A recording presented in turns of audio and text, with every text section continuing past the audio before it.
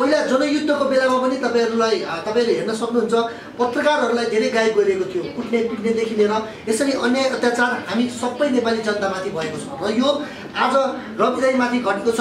हिजो भर्खरै हाम्रो अभियन्ता नेपालका लागि नेपाली ज्ञानन्दा साईमाथि सुर्खेतमा घट्यो र भोलि अब कुलमान घिसिङसँग घट्छ भोलि मसँग घट्छ भोलि उहाँसँग घट्छ र यसरी नै सबैजनासित यसरी घटना घट्ने भने नेपालको लागि राम्रो भ्रष्टाचार विरुद्ध अत्याचार विरुद्ध अन्याय विरुद्ध आवाज कसले उठाउने त? यसरी नै दबाउँदै जाने हो भने। अहिले साथीहरूले भनिसक्नुभयो लगभग तिनै कुरा हुन्। अलिकति त्यसमा हामीले के हो भने हामी अहिले आन्दोलन गरिरहेका हामी कुनै अन्धभक्त भएर होइनौँ। यो पनि हामी यहाँबाट के भन्छ भने बाहिरमा आउने केही साथीहरूलाई म यहीँबाट के भन्न चाहन्छु भने मिडिया मार्फत के भन्न चाहन्छु भने अहिले र- रवि लामी छानेजीको चाहिँ सम्पत्ति छानबिन गर्ने भन्ने जुन अहिले केही भाउरेहरू नेतृत्व हामी हुने भन्ने युवाहरूले त्यस्ता प्रतिक्रियाहरू दिइरहँदाखेरि उहाँहरूलाई सबैभन्दा पहिले मेरो यहीँबाट के त भने म के सुझाव दिन चाहन्छु भने सबैभन्दा पहिला आफ्नो नेतृत्वको चाहिँ तपाईँहरूले रक्षा गर्नु र आफ्नो नेतृत्वलाई सुधार्नतिर लाग्नुहोस्। एउटा चिज र दोस्रो चिज के हो भने हामीले के हो भने रवि लामे छैनजी हत्यारा दोषी हो कि होइन पहिला?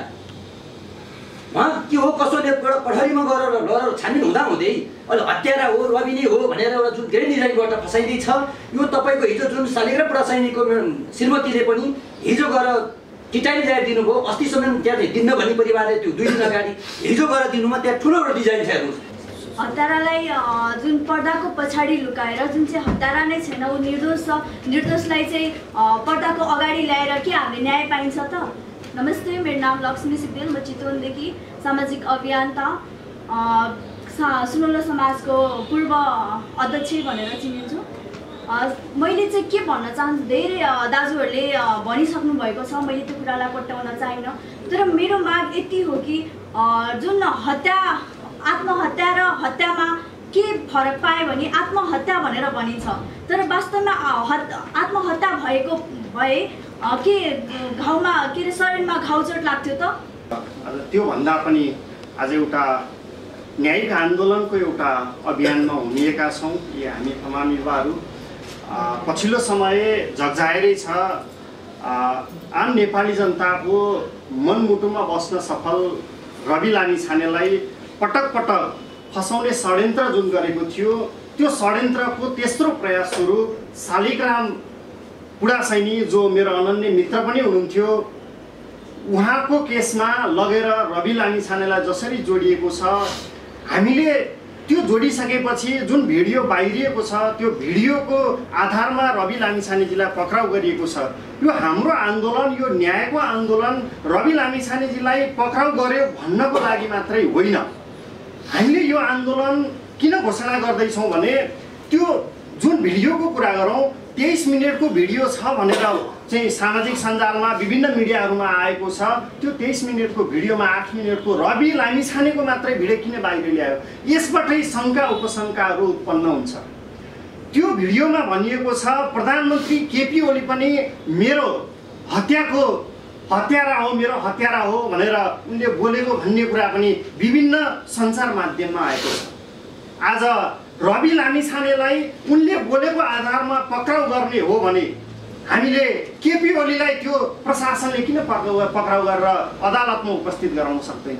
निमित्त पनि एउटा तपाईँहरू जस्तो जुन यो इमान्दार पत्र पत्रकार हुनुहुन्छ हामीलाई विश्वास छ तपाईँहरूप्रति कि तपाईँहरूले गर्दा नै आज एउटा तेस्रो जनआन्दोलनको रूपमा सिर्जना हुनेछ। तपाईँहरूले साथ दिनुभयो भने हामी निश्चयपूर्ण यो सत्य तथ्यको हातमा पुग्छ तर भोलिको आन्दोलन के छ भने तपाईँहरूले खबर जानकारी गराइदिनुहोस् कि भोलिबाट हाम्रो निरन्तरतापूर्वकको आन्दोलन छ। त्यो आन्दोलन ठिक तिन बजे माइती घर मण्डलादेखि तपाईँको बानेश्वर चोकमा पुग्छ त्यहाँ कोर्ट सभा हुन्छ शान्तिपूर्ण आन्दोलन हुन्छ हामी। हामी कसैलाई हस्तक्षेप गर्दैनौँ हामी त्यहाँको तारबार तोडिँदैनौँ हामी शान्तिपूर्ण तरिकाले धर्ना बस्छौँ तर त्यो धर्नालाई यदि प्रहरीले हस्तक्षेप गर्छौँ भने हामी त्यसको प्रतिकारको निमित्त पनि उत्रिन बाध्य नहोस्। म चक्रधर विगत चार महिनादेखि म यो नेपालको लागि नेपाली भन्ने जुन हाम्रो अभियान छ त्यसमा संलग्न छु। र पछिल्लो समय भाइरल भइरहेको यस घटनामा हामी सबै नेपालीको एकदमै दुःखदायी घटना हो। शालिग्राम पुडा सैनी एकदम होनार पत्रकार हुनुहुन्थ्यो। हजुर हजुर हामी सबैलाई थाहै भएको कुरा हो होइन? त्यसमा रवि लामी छानेज्यू जो करोड नेपालीको मुटुको ढुकढुकी हुनुहुन्थ्यो। उहाँहरू दुवैजनालाई एउटै तीरले निशाना बनाएर यो कुनै षड्यन्त्रपूर्व पूर्वक उहाँको चरित्र हत्या र एकजनाको त हत्या नै भयो होइन शालिग्राम पुरासैनीको यसलाई हत्या नै भन्न भन्नुपर्ने हुन्छ किनकि उहाँको विभिन्न भिडियो र विभिन्न उसले गर्दा। अनि हाम्रो रवि लामिछानेज्यूलाई षड्यन्त्रपूर्वक नै त्यसरी फसाइएको हुनुपर्छ। र त्यो क्षेत्रलाई घोषणा गर्न साथ त्यो एरियामा अब आन्दोलन गर्ने शान्तिपूर्ण आन्दोलन होस् के होस् गर्न नदिने भन्यो। तपाईँहरूले भोलिदेखि फेरि माइती घरमा गर्छु भन्नुभएको छ। अ, यो अवस्था भोलि काठमाडौँको माइती घरमा पनि सिर्जना भयो भने तपाईँ के गर्नुहुन्छ? हाम्रो आन्दोलनको कार्यक्रम रोकिन्न। हामी जसरी प्रतिबन्ध गर्छ हाम्रो न्यायको अन्यायको विरुद्ध न्यायको आवाजलाई जति दबाउन खोज्छ यो सरकारले हामी त्यति नै हामी त्यो जुन उनीहरूको निषेधलाई हामी तोड्छौँ। हामी झन् अझै सशक्त रूपमा आन्दोलनका कार्यक्रमहरू घोषणा गर्न गर्छौँ। हामी न्यायको निमित्त गोली खान पनि तयार छौँ। हामी हाम्रो आन्दोलनको कार्यक्रम रोकिँदैन काठमाडौँमा पनि रोकिन्न र मलाई विश्वास छ चितवनमा पनि त्यो धम्कीपूर्ण जुन एउटा अभिव्यक्तिले आन्दोलन रोकिनेवाला छैन नेपाली जनताले अब यस्ता धम्की सहनेवाला छैन। प्रशासनसित कस्तो समन्वयन गरिराख्नु भएको छ तपाईँले अहिले? हामी प्रशासनसित समन्वय भन्दा पनि एउटा जो प्रशासन त आफै बिगाउ छैन। प्रशासनको कुरा गर्दाखेरि मलाई के म यहाँलाई के विनम्रतापूर्वक अनुरोध गर्न चाहन्छु भने नेपालमा कानुन त छ तर कानुनको पालना न प्रशासनले गर्छ न यो कानुन भनेको तपाईँको गरिब जनताको लागि निमित्त मात्रै बनाएको कानुन हो। आज तपाईँको अदालतमा हेर्नु सर्वोच्च अदालतमा तपाईँको भागबन्डको हिसाबले तपाईँको राजनीतिको भागबन्डमा चलेको छ। हामी कुन प्रशासनमा जाउँ कस्तो प्रशासनमा जाउँ त्यसैले अब हामी जनताको अदालत खडा खडा गर्न चाहन्छौँ। त्यही जनताको अदालतले अब हामी त्यहीबाट हामी युवा तान्देका हौँ हामी आफ्नै अदालत सुरु गर्न तयार हुनेछौँ र तपाईँले आफ्नै सरकार हामी आफ्नै स्टाइल जुन हामी यो रविदाईको न्यायको निमित्त हामी गरिब जनताको निमित्त हामी यो आन्दोलनको सिर्जना गर्न गर्न तयार छौँ। तपाईँले भन्नुभयो निषेधित क्षेत्र चितवनमा तोडियो यहाँबाट हामीले सौरभजीले नि भनिसक्नुभयो कि हामी जुन शान्तिपूर्ण आन्दोलन गरिरहेका छौँ त्यो आन्दोलनको निमित्त कसैले यदि दबाब दिन्छ भने त्यसको प्रतिकारको निमित्त हामी उत्रिनेछौँ र गोली खान तयार छौँ मर्न पनि तयार छौँ र देश र गरिब जनताको निमित्त जसरी हामी अगाडि बढेका छौँ यो आन्दोलन कहिले पनि तुइँदैन। जबसम्म निर्मला हत्याकाण्डको पत्ता लाग्दैन जबसम्म व्हाइट बडीको काण्डको पत्ता लाग्दैन जबसम्म तपाईँको के अरे सरकार जो भूमाफियाले जुन बल्लटारको जग्गाको खाए त्योसम्म पत्ता लाग्दैन यो सरकारलाई हामी दबावमूलक चेतना दिँदै रवि रविदाईको न्यायको निमित्त र पुरा सैनिक विशेष त हत्या भएको पुरा सैनिकको म चेतावनी दिन्छु। उहाँको हत्या र तथ्य सत्यसहित पत्ता लगाउनको निमित्त पनि यो आन्दोलन सुरु भएको छ। यो आन्दोलन अब तुइँदैन। यो आन्दोलन तेस्रो जनआन्दोलनको रूपमा पनि अगाडि बढ्न सक्छ भनेर मलाई विश्वास छ। आदरणीय जनताहरूले पनि हामीलाई साथ दिनुहुने दिनुहुनेछ भन्ने हामीलाई विश्वास लाग्छ। कानुन प्रशासन र सरकार जब एक भयो भने तपाईँहरू के गर्नुहुन्छ? हामी कानुन प्रशासन एक भए पनि सुन्नुहोस् न हामी सबभन्दा ठुलो अदालत भनेको जनताको अदालत हो। त्यो अदालतले हामीलाई सजाय दिन्छ भने हामी मान्न तयार छौँ। तर यो कानुन राज्य जे भन्छ नि जस्तो विगतमा तपाईँको प्रशासनले धम्की त्रास दिएर जुन स्टाइलमा तपाईँको जुन कार्य दिशामा हामी भड्किरहे जुन नेपाली जनता पहिला भड्किरहेको अब यो महसुस हुने हामी दिने छैनौँ।